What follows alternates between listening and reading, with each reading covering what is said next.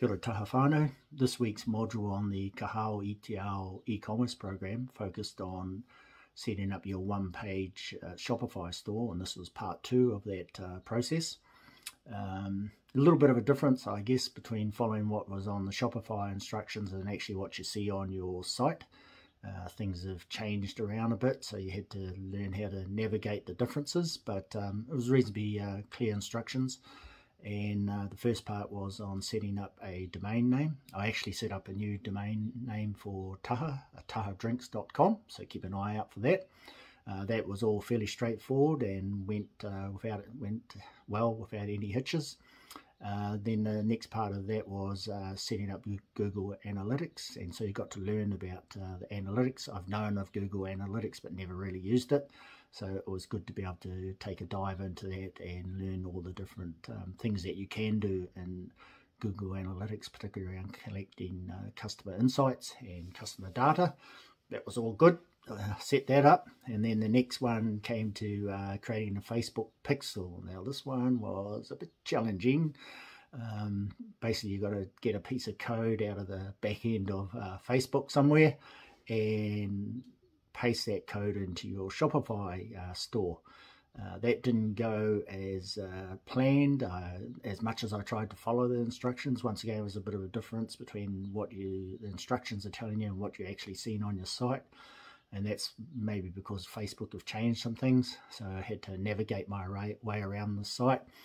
It became a bit frustrating, so frustrating that I ended up uh, leaving it for the night and sometime during the night, the Patupaiarehe must have got into my site because when I went back into it in the morning, it was all fixed. I don't know how that happened. Uh, I'm not sure if it's 100% fixed, but it seems to all work and um, we'll see how it goes anyway once I take it live, I guess.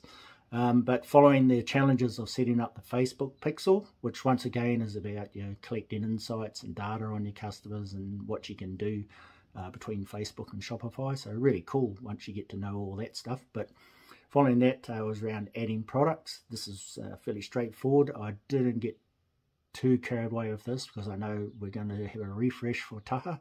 So I've kept it pretty basic at the moment. But once again, uh, no issues there. Put up some photos, put in some text, a little bit of a story, um, and that's all good to go. Uh, then uh, we went to um, how to set up uh, shipping options on Shopify. This is probably a little bit uh, not tricky or difficult, but because we distribute taha from a number of outlets, uh, we've got warehouses in Auckland and Wellington, my garage here in Otorohanga, and friends' garages in Feilding, um, Hastings, Rotorua, and my nephew's garage in Masterton. So yeah, was uh, trying to set up shipping for all those places. I just wasn't going to go there. I've kept that pretty simple, pretty clean. And the main thing is Taha can get to you wherever you are. No worries there. Uh, so it's set up the shipping options and uh, really that was it for uh, this session of part two, setting up uh, one-page Shopify store.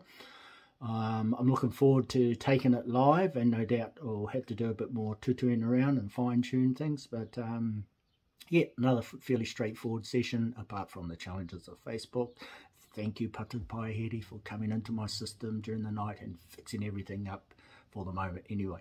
So I look forward to uh, the next session, uh, which I'm uh, picking will maybe taking our uh, shop Shopify store live. So we'll see how that goes. Kia ora.